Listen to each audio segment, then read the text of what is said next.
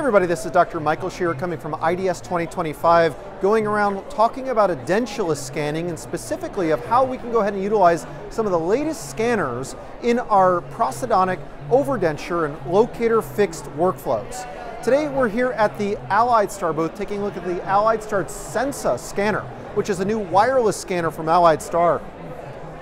It seems very impressive here so far. It's a much different design, very compact compared to the other AlliedStar scanner, but also utilizing some of the very similar structured light scanning capability to go ahead and make scanning pretty easily uh, accessible to the clinician as well as affordable.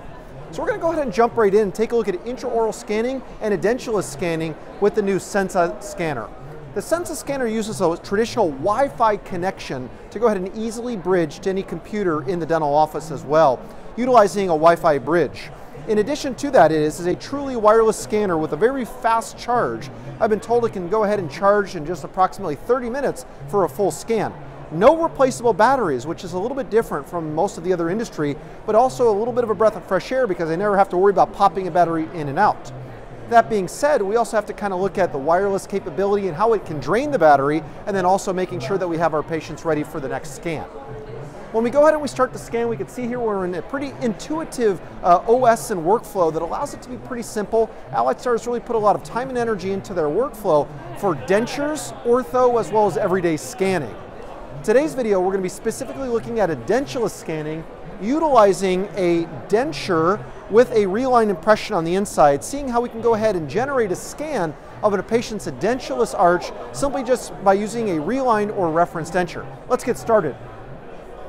I have an edentulous arch that's off of my Zest locator model that we utilized. I went ahead and I removed my locator buttons just to go ahead and make it easy for the intraoral scanner. When I click the button, I can start scanning pretty much anywhere here on the arch. A lot of times we can start scanning here on the edentulous ridge like the retromylohyoid or the retromolar pad area, especially here on the mandible. Give it, a, give it a few scans across the arch. We see here pretty much done in just approximately 10 to 15 seconds, pretty easy. Once we go ahead and click the button, which has a physical button either on the top surface of the scanner or from scanning on the maxillary arch, there's also a secondary button below. What you can see here was I'm moving my scanner wand around, it also allows me to go ahead and control the functionality and visualization of the scan. Overall, it looks like I've got a pretty good scan. Let's go ahead and start scanning the denture. So now as I click and I hold the button and I click the next button, I simply just go to the next scan just by clicking the button. Very simple, very easy. Okay.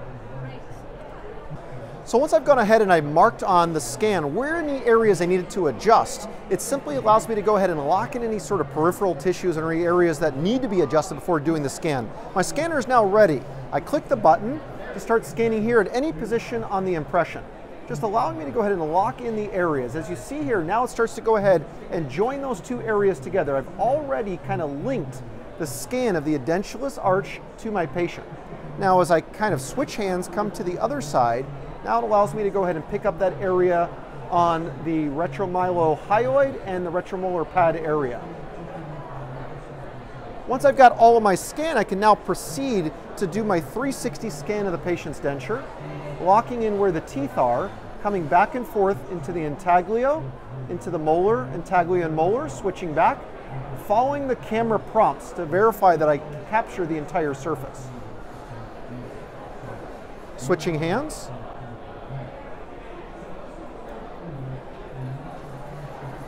And now I've got pretty much the entire dentition selected. I'm going to start to wrap everything together. And if there's any little arrows indicating where I needed to add to the scan, perfectly fine. Just take a moment just to kind of finish this portion up. The scanner makes this pretty smooth, pretty fast. And just guiding me on this one last little turn.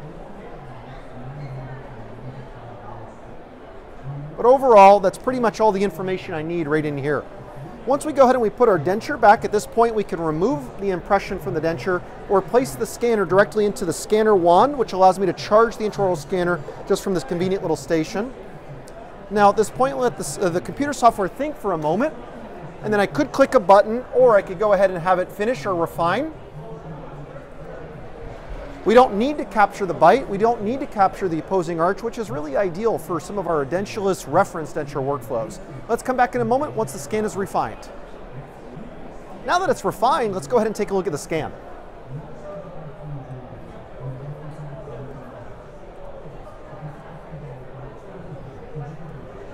Very impressive 360 scan. It automatically aligned the scan of the edentulous arch, and now we're ready to go ahead and either send it to our dental lab, or we can export either the STL-PLY or OBJ files into any readily available software. Additionally, there's bridges to natural software like 3Shape and exocad built into the AlliedStar software. For us as clinicians, allows us to be able to go ahead and take our denture scan, over denture scan, or our locator fix scan. Everybody, pretty impressive offering here from the AlliedStar company with the new Sensa intraoral scanner. Let's go ahead and take a look at other scanners here at IDS in 2025.